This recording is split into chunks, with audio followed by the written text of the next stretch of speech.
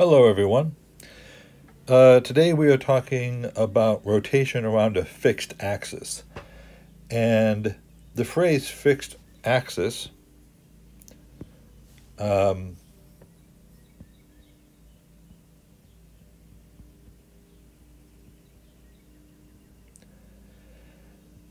it's just a way of saying um, the axis and hence the body center of mass is not in motion, so it's not moving.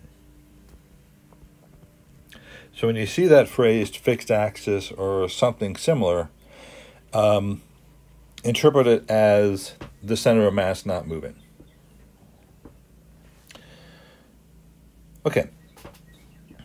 So let's talk about how that plays in to our discussion of torque and angular momentum. So our fundamental principle is the sum of the torques about an axis is equal to the time rate of change of the total angular momentum. And we defined L total as equaling L center of mass plus um, this term defined as spin, where um, spin is just equal to i omega, and it's omega which carries the vector. A brief word to all of you chemistry fans out there. When you write the orbital numbers for um, an electron, apart from the principal energy level, notice the next set come in as an angular momentum term and the spin of the electrons. Um, no, as well as um, the rotation around the uh, z-axis. So, in a way, you've seen this before in chemistry this expression of L, L center of mass, and the spin around that center of mass.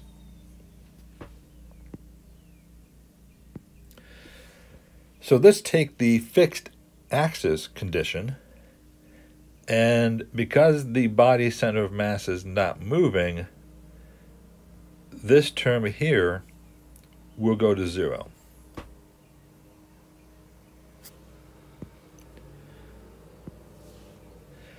So no center of mass motion means no center of mass um, momentum, so no center of mass angular momentum. This fixed state, fixed axis state, allows us then to sum the torques about the rotation axis to get d dt of the spin. And let's make the next substitution into that. D dt of the spin is i omega. Well omega is the angular speed. The moment of inertia um, does not change for us. We have uh, the condition of a rigid body, so an object that's not going to change shape. So if it's not changing shape, its moment of inertia is not changing. So we can do then I dt of omega, which is simply I angular acceleration.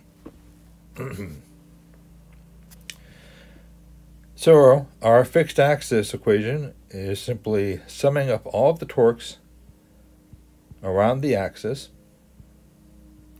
as a vector is going to equal I alpha, which is a vector, and everything is using that same axis of rotation.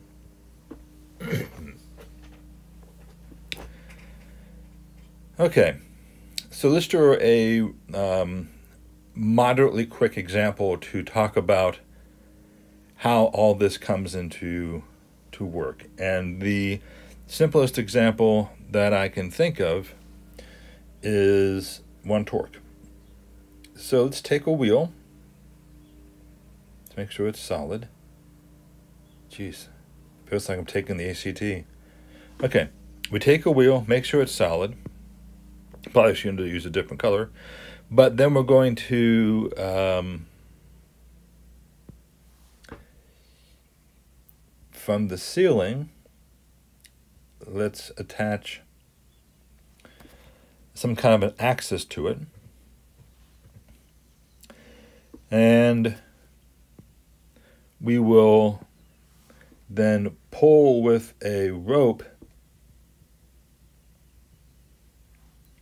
So this is our um, rope, which has a tension of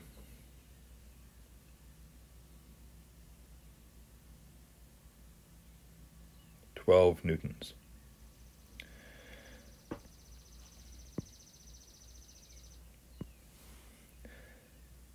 Let's give the mass of the wheel,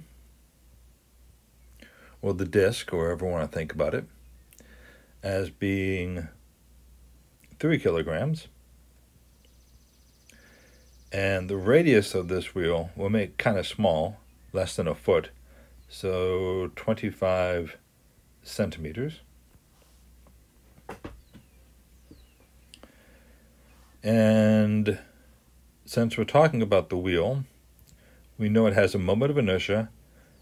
It's a solid wheel, so you can check your charts, and that's 1 half m r squared for the moment of inertia, which we might also spend a moment and compute.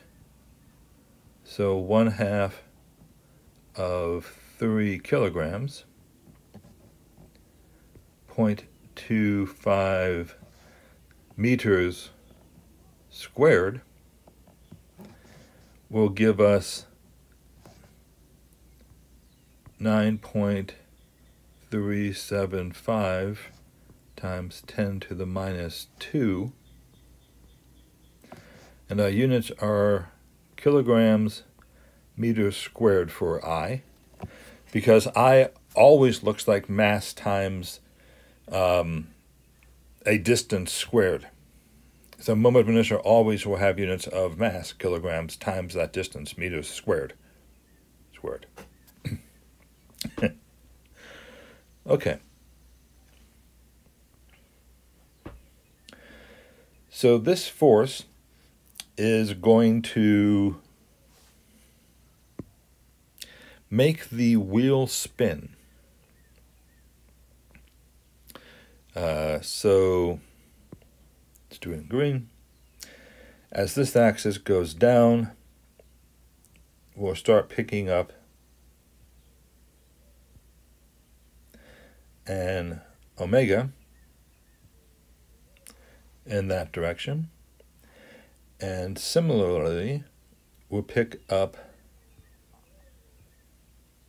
an angular acceleration in that same direction as we pull down.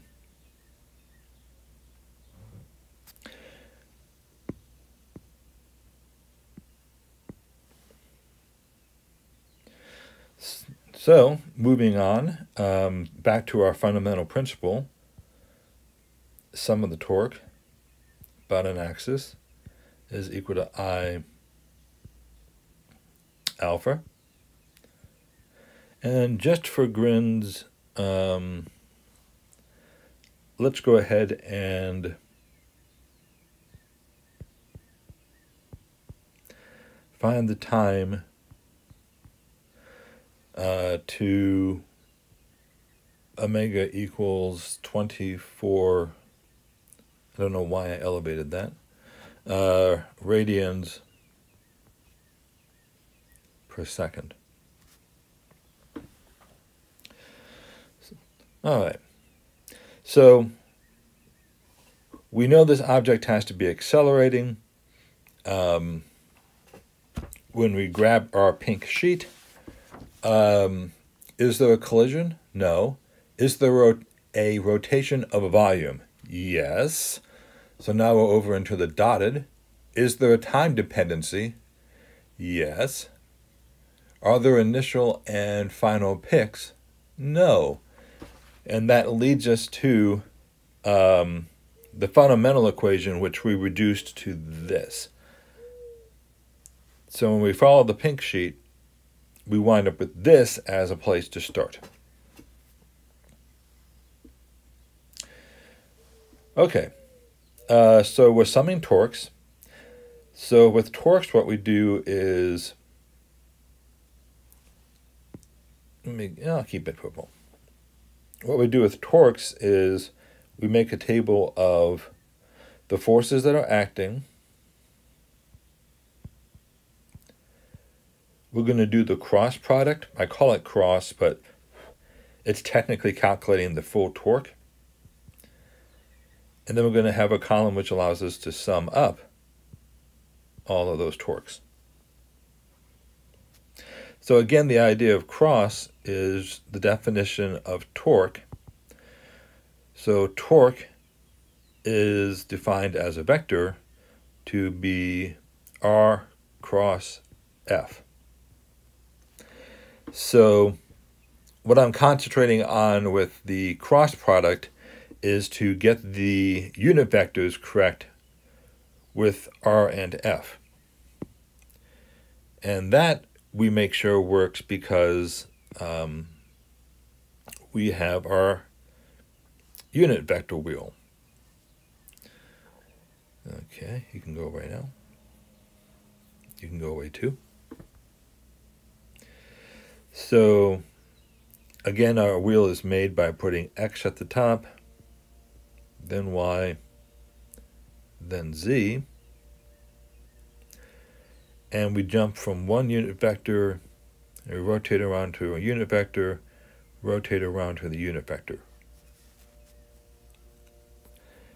and that's our cross product wheel. Alrighty, let's get our purple back. Draw the line. And we talk about the forces now acting on this wheel. Well, one force that's clean is the tension force. And the other force you may have forgotten about is the um, force normal from the um, rigging and the force of gravity of the wheel. So we do the tension first, and the cross product says you take the R, which in our case is, um, I just going to as R for now and you multiply it by the force, which is going to be our tension. And then we pull out the vectors of both of those. So R is pointed in the, helps if we have defined our vector coordinates, x and y. Um, so that means RT is going to be found with R is in the plus X direction. And our tension, however, is in the minus y hat direction. And what we do with that minus sign is we pull it out in front because that minus sign is really negative 1. So I can put it anywhere I want to in this resultant. Um, so the torque here now is going to be found by taking, starting at x hat, going around and grabbing y hat. And that will lead us to the answer we're looking for, z. So I'm going to have negative RT z hat.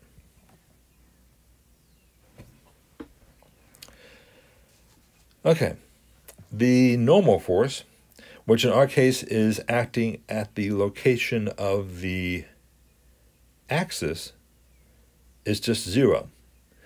So the yellow apparatus holding up the wheel, acting at the um, center to hold the axis, has zero distance between itself and the axis of rotation.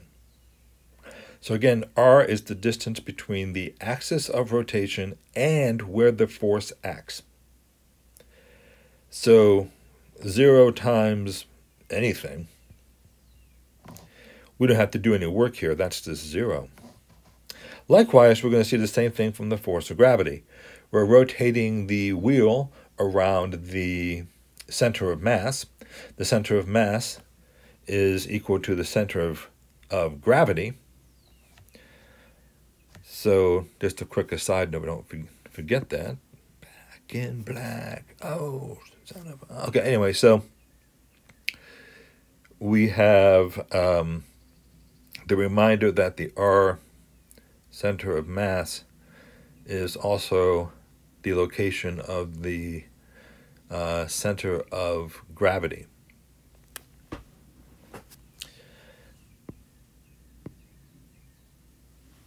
So again, we're going to get a zero for the distance times the force of gravity, and we're going to get a zero down here. Summing all of our torques, so the sum of all of our torques now is just equal to minus RT in the z hat direction.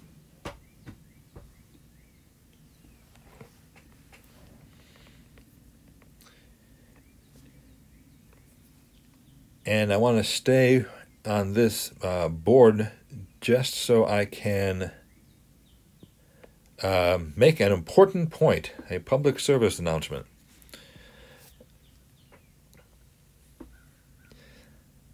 The sum of the torques about an axis as a vector is equal to I alpha as a vector.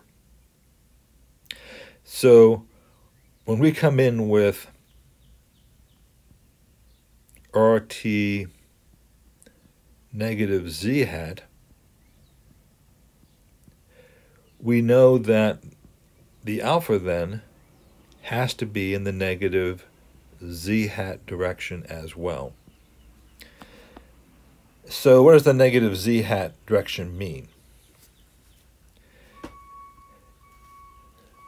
negative z hat means that um, if you take a look at alpha, it is going clockwise. So clockwise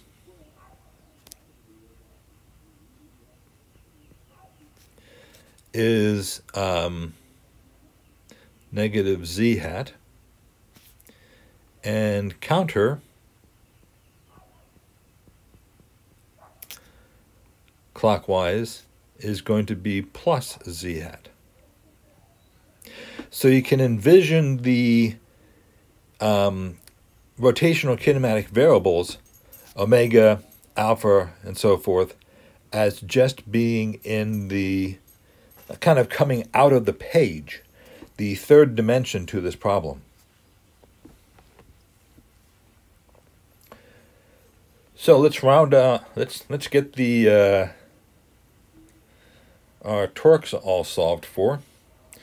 So the sum of our torques is just minus RT in the z hat direction. That has to equal I times alpha. Okay. Um, that means that um, we have a negative alpha as well in the z hat direction. So as that torque spins downward,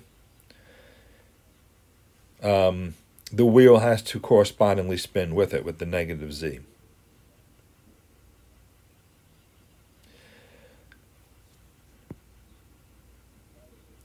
if we do a quick uh, kinematic thing, um, we know that the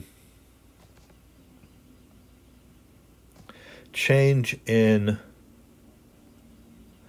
omega over a given time period just defines for us the angular acceleration. Or, in a more familiar way, velocity angular final is equal to velocity angular initial plus alpha t.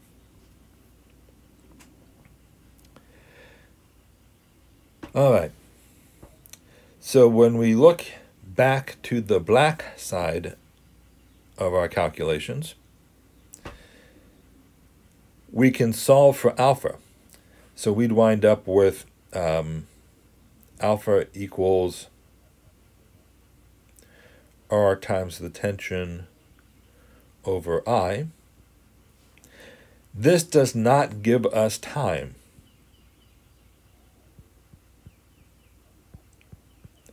But frequently when we're asked to get time, the kinematic expressions are always there to help us.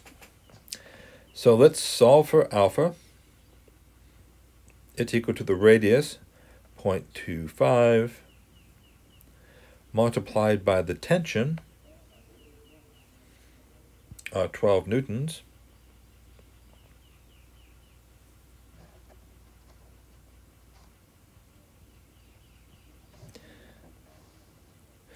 divided by our moment of inertia,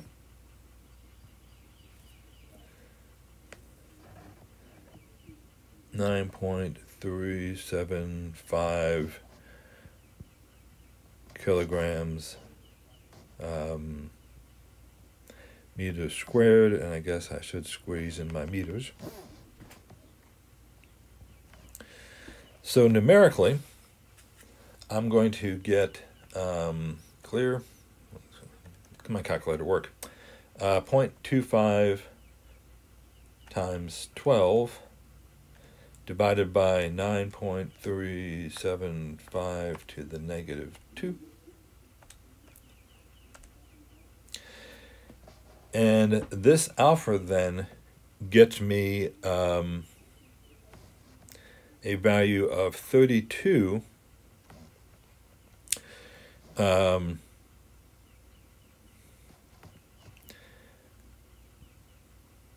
meters. The Newton is kilogram meter second squared. And my denominator is from the moment of inertia, kilograms meters squared. So we can see that the kilograms here and the kilograms here are above and below. And I have m squared above, leaving me just second squared, which is what we would anticipate for an angular acceleration. Basically, 1 over second squared, where that 1 is, is radians, but we're getting ourselves, um, a radian's a non-unit unit. So we have alpha in the right terms. Uh, let's climb over and um, into our kinematic expression now. And we get um, omega final equals omega initial plus alpha t. You'll recall that um, we didn't explicitly say it, but we're spinning the wheel up by this tension force and we wanted to find the time to get omega to 24 radians per second. So that tells us we know omega final is um, 24 radians per second. It's assume that we didn't have an initial speed, plus our alpha, 32 radians over second squared multiplied by time, which will be in seconds, shows that both sides of the equation have the same units. So our time then is simply uh, 24 over 32, 24 radians per second divided by 32 radians per second squared, invert and multiply gives us units of seconds. So 24 divided by 32 ought to be 3 quarters, yeah. Um, so it takes 3 quarters of a second to spin this wheel up to speed. The time that it took wasn't important. The point of this exercise was to show you how to um, let me get a highlighter that's not going to be too bright. The point of this exercise was um, that we had a new uh, re reduction of our full force, our full torque angular momentum relationship, and that um, while we're reviewing, this sort of looks like summing of all the forces equaling mass and acceleration. That's the same form, um, so that may help you um, process it. It never really helped me. Um, so we have this new form of what happens when we sum the torques. we wanted to then do the summation of the torques, and that's really done by listing all of your forces to make sure you don't forget any, which have to be acting, so that you can then add up all of the torques in the process. Notice the table is nice because it gives you um, a chance to do the cross products just as cross products and not to get tied up with the value of R and the value of T. Uh, you can just do the cross product using our wheel. So really this problem is telling us that when you apply a torque in the negative y direction, you produce um, a clockwise rotation and clockwise is negative, counterclockwise is positive. So when we sum all of our torques and apply the direction of the alpha, we'd be fine. Okay. One legitimate question is I made arguments for why alpha was in the negative z. What if that what if I didn't know that? Well, it's going to come out in the wash because you do know the torque is RT um, Z hat and it's negative. So even if you had originally made this term positive, your alpha term would have come out to be negative, and um,